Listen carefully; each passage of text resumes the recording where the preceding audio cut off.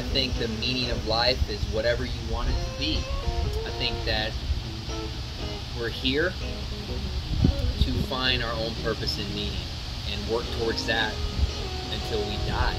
And when we discover our purpose and meaning for ourselves, we share that with others so they can do the same. I guess to have as much fun as possible, but be able to control it so you can have as much fun as possible, not incarcerated. I love that. I dig it. Meaning of life. I don't know. I guess it could be categorized by what your purpose is. Like some people have already found their purpose in life and that's what they want to do. But if you don't really have a purpose, I guess the meaning of life is to find that to uh, fulfill it. Um, I think that we're on earth to learn and to love. I think the meaning of life is to try to discover as much about life as you can. To try to be a better person, develop Beautiful. as a person. Because if you don't discover the depth of life, you're missing out. Eat, drink, shit, and sleep. Um, to be happy and intentional with your love and things. Wow. Okay. wow. Anything else? Um, to have a best bud like Erica. I don't think there is one, like, personally. Okay. I mean, like, I just think I would consider myself an anarchist. Like, fuck off, do whatever you want. Like, I don't know. I, I dig it.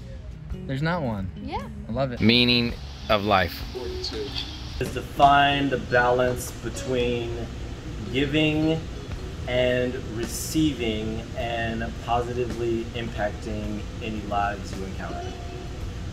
Just like have the most fun that you ever can.